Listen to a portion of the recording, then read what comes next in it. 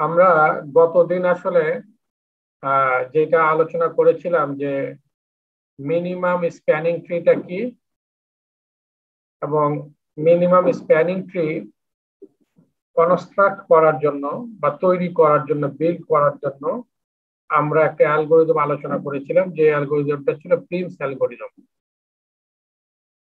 যে আমাদের একটা গ্রাফ দেওয়া থাকবে এবং সেই গ্রাফের ওয়েট গুলি দেওয়া থাকবে। সেইখান থেকে আমরা একটা মিনিমাম স্প্যানিং ট্রি তৈরি করব। তো আমরা বলেছিলাম যে এখানে তিনটা শব্দ আছে। একটা হচ্ছে ট্রি একটা হচ্ছে স্প্যানিং আরেকটা হচ্ছে মিনিমাম তো আমরা জানি যে ট্রি হতে গেলে তার একটা রোড থাকতে হবে এবং তার মধ্যে কোন রকমের সাইকেল থাকা চলবে না। তাই না? জি স্যার।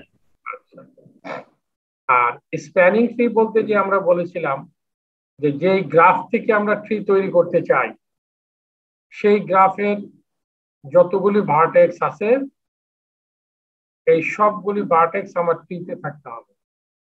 কোনো ভার্টেক্সকে বাদ দেওয়ার কোনো সুযোগ নাই। তাহলে ট্রি আমরা বুঝতে পারলাম? স্প্যানিংটাও বুঝতে পারলাম। আর মিনিমাম শব্দটা আমরা বলেছিলাম যে ট্রির মধ্যে যখন আমরা একটা নোট থেকে আরেকটা নোটে যাব, এর জন্য যাতে আমাদের ওয়েটটা কম হয়। তো সেই জন্য হচ্ছে মিনিমাম এই এই আলোচনার পরে আমরা আসলে আলোচনা করেছিলাম যে আমাদের যদি একটা গ্রাফ দেওয়া থাকে, সেই গ্রাফ থেকে আমরা মিনিমাম স্প্যানিং ট্রিটা কীভাবে তৈরি করব, তার জন্য একটা অ্যালগোরিদম আমরা আলোচনা করেছিলাম, যেটা ছিল প্রিন্স অ্যালগোরিদম তো প্রিন্স অ্যালগোরিদমের মধ্যে আমরা বলেছিলাম যে এইটা একটা vertex based algorithm vertex based algorithm মানে হচ্ছে যে এইটা একটা একটা নোট করে গ্রাফ থেকে একটা একটা নোট করে নিয়ে সে ট্রির ভিতরে যুক্ত করে এই মিনিমাম স্প্যানিং ট্রিটা তৈরি করে। এবং একটা নোট ট্রির ভিতরে যুক্ত করার সময় সে দেখে যে ট্রির বাকি যে যে অংশটা আছে, সেই অংশের সাথে ওই নোটটা যদি ট্রিতে যুক্ত করি, তাহলে তার ওয়েটটা মিনিমাম হয় কিনা। এইরকম একটা কনসিডারেশন আমরা আলোচনা করেছিলাম। আগামীকাল ওর সময় একটা ক্লাস টেস্ট আছে। তো আজকে আমরা যেটা আলোচনা করব সেই অ্যালগোরিদমটা হচ্ছে ক্রুস্কাল অ্যালগোরিদম। ক্রুস্কাল অ্যালগোরিদমের মধ্যে আসলে আমাদের মূল পয়েন্ট যেটা, আগে ছিল যে আমাদের এক একটা করে ভার্টেক্স নিতাম, নিয়ে ট্রিতে অ্যাড করতাম। আর এইখানে আমরা এজ গুলিকে যুক্ত করব ভার্টেক্স না।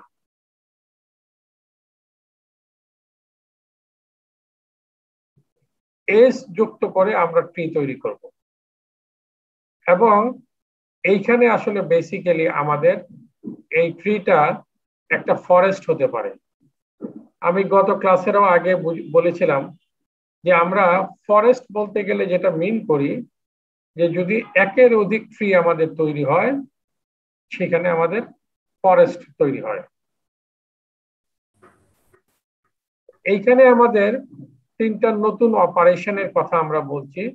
একটা হচ্ছে মেক সেট একটা হচ্ছে ইউনিয়ন সেট একটা হচ্ছে ফাইন্ড সেট এই তিনটা নতুন অপারেশনস আমাদের লাগবে। যদি আমরা ক্রুসকাল অ্যালগোরিদম ব্যবহার করে মিনিমাম স্প্যানিং ট্রি তৈরি করি।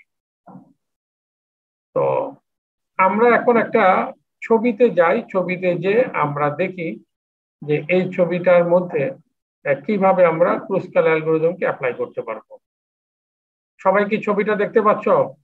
জি স্যার দেখা যাচ্ছে। স্যার। এইখানে আটটা ভার্টেক্স আছে তাই না? জি স্যার। আর অনেকগুলি এজ আছে তাই না? জি স্যার। আমরা বলেছিলাম যে আমাদের ক্রুসকাল অ্যালগোরিদমটা একটা এজ বেসড অ্যালগোরিদম। এজ কে নিয়ে সে কাজ করে এবং যেই এজের ওয়েট মিনিমাম সেইটাকে এসে ট্রিতে যুক্ত করে। এখন দেখো তো এর ভিতরে কোন এজের ওয়েট সবচেয়ে কম? এই তেইশটা? টোয়েন্টি থ্রি তারপরে কোনটা সবচেয়ে কম দেখো তো? Twenty nine twenty nine twenty nine কোথায় আছে sir four two eight twenty nine তারপরে কি থার্টি ওয়ান তারপরে থার্টি ওয়ান তারপরে থার্টি টু স্যার তারপরে ফর্টি সেভেন ফর্টি সেভেন তারপরে fifty four fifty four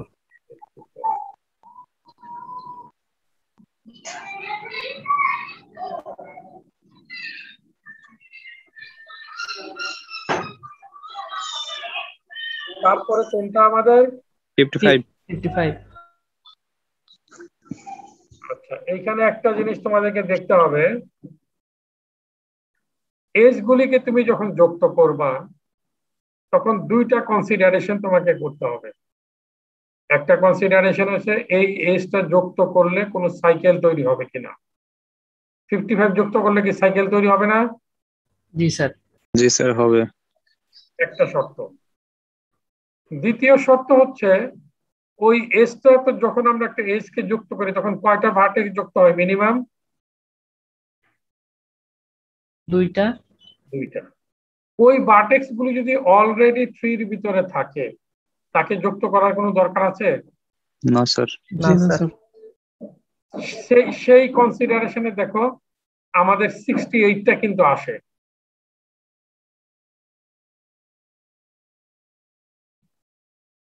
sixty এইটটাকে যুক্ত করলে সাত নাম্বার বার্টেক্সটা আমার ট্রির মধ্যে নাই। তো সিক্সটি এইটটা যুক্ত করলে আমার এজ হচ্ছে সিক্সটি এইট আরেকটা কিন্তু সাত নাম্বারকে যুক্ত করার জন্য কিন্তু আরেকটা এজ আছে সেটা সিক্সটি সিক্স তাই না? কথা ক্লিয়ার জি স্যার। দেখো আমরা কিন্তু ফিফটি ফাইভটাকে যুক্ত করি নাই।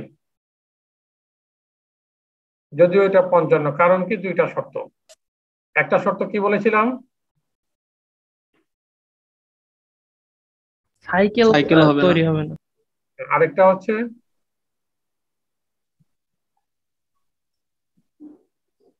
আরেকটা শর্ত কি ছিল? স্যার ওয়েট কম হতে হবে। ওয়েট তো কম হতে হবে ঠিক আছে এটা তো ওয়েট কম। এইটা যুক্ত করলে সাইকেল হয়। মানে এত তাড়াতাড়ি ভুলে গেলে হবে। এটা যুক্ত করলে সাইকেল হয় একটা। আরেকটা হচ্ছে যে এইটা যখন আমি যুক্ত করছি এই এসটা আসলে দুইটা বার্টেক্স কে কানেক্ট করে। কোন কোন বার্টেক্স কে কানেক্ট করে থ্রি টু টু আর থ্রি এই দুইটা বার্টেক্স অলরেডি আমার ট্রির কানেক্টেড এই বার্টেক্স দুইটা আমাদের অলরেডি ট্রির ভিতরে কানেক্টেড আছে। সুতরাং এই এজটাকে যুক্ত করলে আসলে নতুন কোনো কিছু বেনিফিট আমাদের হচ্ছে না। সেই কারণে আমরা আসলে সিক্সটি সিক্সে চলে গেলাম। জি স্যার সবাই কি বুঝতে পারছ? জি স্যার জি স্যার এইখানে আমরা আহ, দেখো এইখানে আমরা আহ, বলছি যে আমাদের টোটাল যে বার্টেক্স এর সেট ছিল এই বার্টেক্স এর সেট থেকে আমরা কয়েকটা সেট তৈরি করছি। S one S two S k এবং এই সেটগুলির ভিতরে আমাদের বার্টেক্স গুলি আছে। কথা বুঝতে পারছ? জি স্যার। জি স্যার। এই সেট তৈরি করার কারণ কি বলতো দেখি? আমরা এখানে B one B two B eight লিখি। আমরা বলেছি যে এইখানে আমরা এক একটা করে এস যুক্ত করব তাই না? জি স্যার। এবং এসটা যুক্ত করার সময় আমাদের দুইটা শর্ত আসলে আমরা ফুলফিল করছি। একটা শর্ত হচ্ছে এই এসটা যুক্ত করলে যাতে সাইকেল না হয়। তাই না? জি স্যার। জি স্যার। আরেকটা হচ্ছে যে এই এসটা যুক্ত করার ফলে যেই বার্টেক্স গুলি ট্রির ভিতরে আসবে সেই বার্টেক্সটা যদি অলরেডি যুক্ত থাকে এই এসটা যুক্ত করার কারণে যে বার্টেক্স গুলি ট্রির ভিতরে আসবে সেই বার্টেক্স গুলি যদি অলরেডি যুক্ত থাকে তাহলে আমাদের ওই এসটা যুক্ত করার প্রয়োজন নাই। কথা কি ক্লিয়ার এই দুইটা শর্তকে পূর্ণ করার জন্য আমরা আসলে এই সেটের অপারেশন গুলি করছি।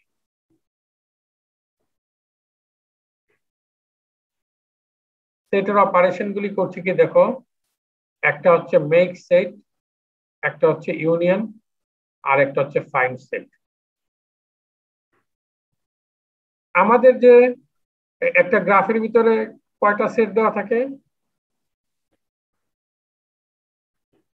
একটা গ্রাফ জি এর ভিতরে কি কি সেট থাকে? হ্যালো স্যার দুইটা থাকে। কি কি বলো দেখো বলো তো দেখি। ভাটেক আর ভাটেক্স আর এজ ভার্টেক্স আর এজ হ্যাঁ। এখন আমরা আসলে বেসিক্যালি এই যে ভার্টেক্স এর একটা সেট আছে এই ভার্টেক্স এর একটা সেট থেকে কয়েকটা ডিসজয়েন্ট সেট আমি যুক্ত করব। এই ভার্টেক্স এর একটা সেট থেকে কয়েকটা ডিসজয়েন্ট সেট আমি বানাবো। ডিসজয়েন্ট সেট মানে হচ্ছে বেসিক্যালি আসলে এই যে আমরা এখানে সেট বানিয়েছি কি এস ওয়ান একটা সেট তাই না? জি স্যার। জি স্যার।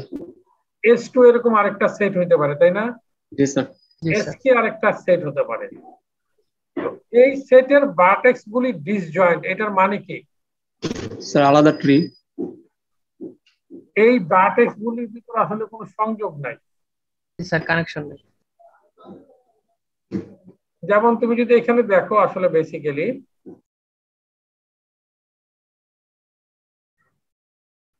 যেমন দেখো তো একের সাথে চারের কোনো ডিরেক্ট কানেকশন আছে? না স্যার। জি না আমরা এখানে কি বলেছিলাম? আমরা এখানে বলেছিলাম যে এইটা একটা ফরেস্ট তৈরি হবে তাই না? জি স্যার। একটা গ্রাফ থেকে ফরেস্ট তৈরি হবে। এখন যদি মনে করো এখানে সর্বোচ্চ আহ, আমার বার্টেক্সের নাম হচ্ছে আট তাই না? জি স্যার। এখানে মনে করো আরও দুইটা বার্টেক্স আছে নয় দশ। আলাদা নয়ের সাথে দশ কানেক্টেড তাহলে এই গ্রাফের ভিতরে এই দুইটা সেট কি এই এই পুরো বার্টেক্সের সেট থেকে আলাদা না? জি স্যার এটা জি স্যার। যদি নয় দশ আমার এখানে দুইটা বার্টেক্স থাকতো এবং দুইটা বার্টেক্স এর মধ্যে একটা সংযোগ থাকতো একটা এজ থাকতো।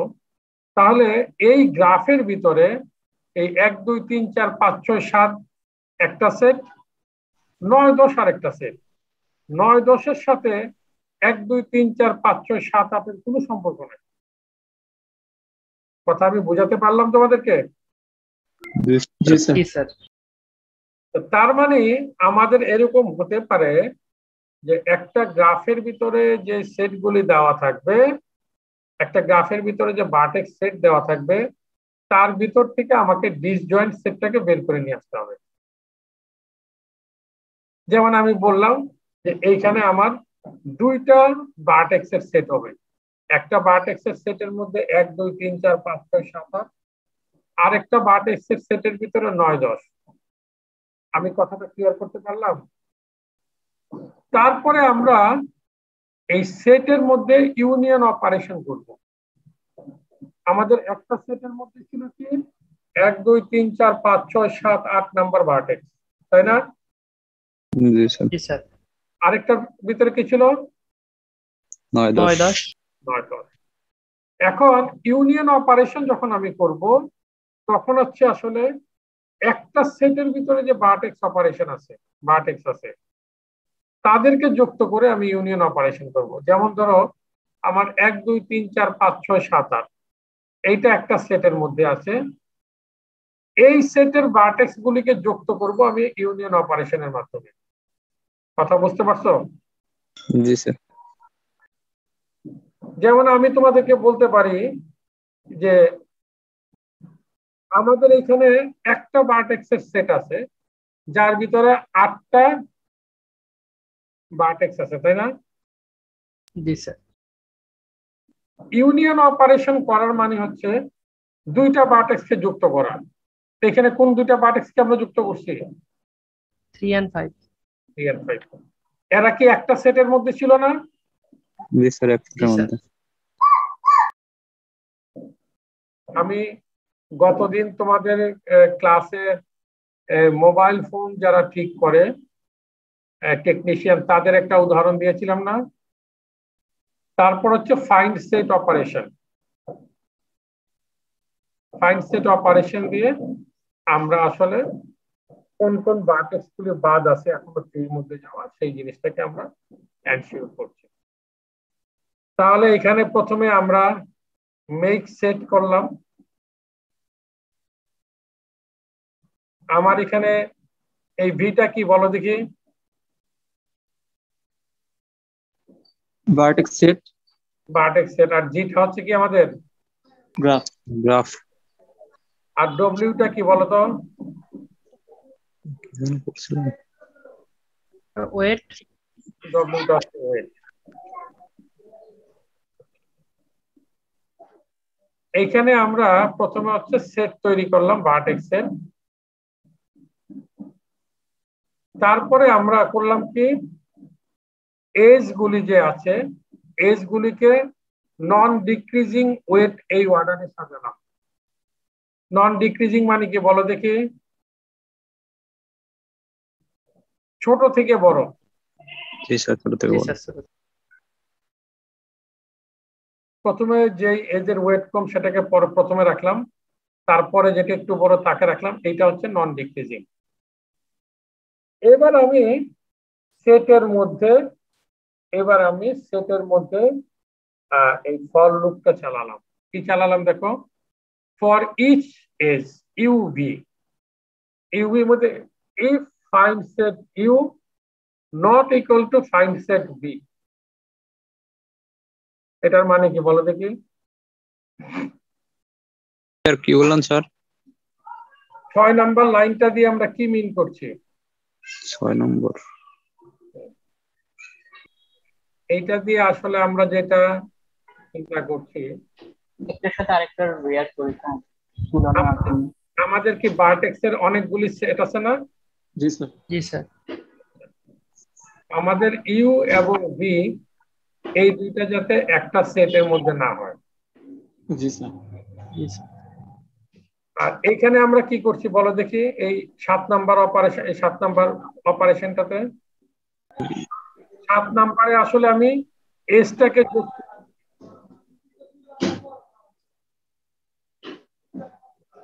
স্যার এজ কানেক্ট করছি নাকি এসটাকে আমি কানেক্ট করছি। জি স্যার। শুরুতে কিন্তু আমার কোনো এস ছিল না ছিল? না স্যার। এইটা হচ্ছে অর্ডার অফ বি এটা হচ্ছে order of E log E এটা কীভাবে করলাম বলতে কি কেউ একটু বলতে পারবা এটা কীভাবে করলাম? স্যার এগুলো আলাদা করে ভেঙে তারপরে মার্চ করা হয়েছে। এইটাকে আসলে আমরা এই যে শর্ট করার জন্য একটা অ্যালগোরিদম লাগবে না আমাদের? জি স্যার। জি স্যার। তাহলে আমার কি একটা এজ এর বড় সেট আছে না? জি স্যার। জি স্যার। আমরা বলেছিলাম যে টাইম কমপ্লেক্সিটি লগারিদমিক টার্মে আসবে যদি বড় জিনিসটাকে ভেঙে আমি আস্তে আস্তে ছোট করি তাই না? জি স্যার। সবাই কি একমত? জি জি স্যার তারপরে যদি কম্বাইন করি তাহলে এন লগ এন আসবে তাই না? জি স্যার শুধু ছোট করলে হচ্ছে লগ এন আর কম্বাইন করলে হচ্ছে এন লগ এন সবাই কি একমত? এইখানে কি এইটা প্রত্যেকটা এজ তাই না? জি স্যার তাহলে এটা অর্ডার অফ ই আসবে। জি স্যার জি স্যার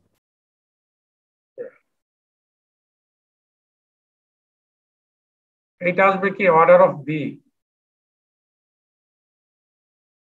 জি sir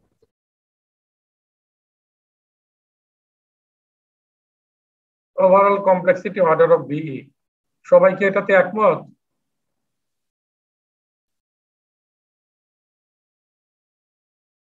জি স্যার। জি স্যার। দেখো এইটা যে আমরা গুণ করলাম ই কে যে বি এর সাথে গুণ করলাম কারণটা কি বলো দেখি। স্যার এখানে অ্যাকচুয়ালি দুইটা লুপের কাজ চলতেছে। দুইটা লুপের কাজ না আসলে এই ফর লুপটার মধ্যে এই কাজটা হচ্ছে।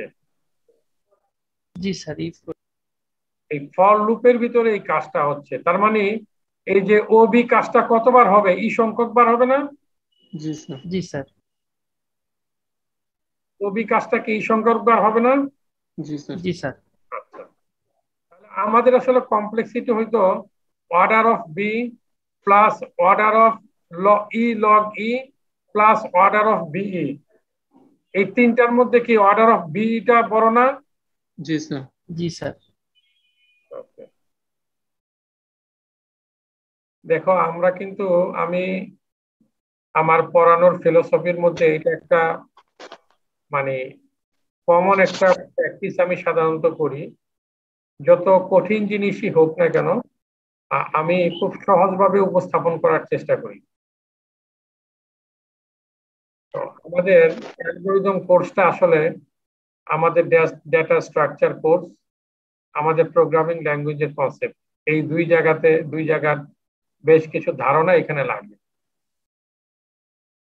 তো আমরা যখন বিভিন্ন সেমিস্টারে কোর্সগুলি কমপ্লিট করি, কিছু দুর্বলতা, কিছু প্রবলেমের জায়গা আমাদের থাকে। পরের কোর্সে কিন্তু কিছুটা সুযোগ থাকে সেই জিনিসগুলি আমরা রিকভার করার।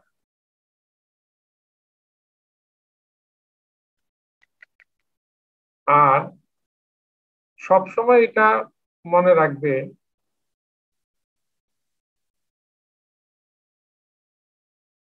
তোমাকে কিছু মানে ভালো কোনো কিছু অর্জন করতে গেলে তোমাকে কিছু এফোর্ট দিতে হবে তাই না? জি স্যার। এখন আমি যেটা তোমাদের ক্লাসের রেসপন্স থেকে যেটা বুঝছি মানে মোস্ট অফ দ্য স্টুডেন্ট এখনও পড়াশোনার আশেপাশে আসো নাই। অথচ কালকে কিন্তু আমাদের ক্লাস টেস্ট আছে।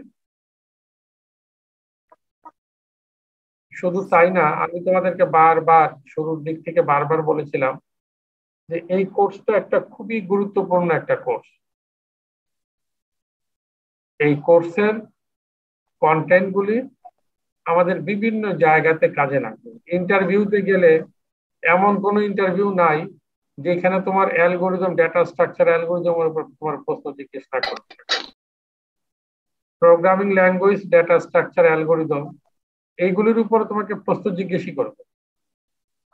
কোনো সন্দেহ নেই। আমাদের এই কোর্সটা কিন্তু ওই দুইটা কোর্সের কম্বিনেশন আমরা প্রোগ্রামিং ল্যাঙ্গুয়েজে কোড টোড লিখি ডেটা স্ট্রাকচার গুলিতে ডেটা স্ট্রাকচার গুলি কীরকম হবে কমপ্লেক্সিটি কীরকম হবে সেই কিছু ধারণা আমরা দেখেছি। এই এসে কিন্তু দুইটা জ্ঞান আমরা একত্রিত করেছি।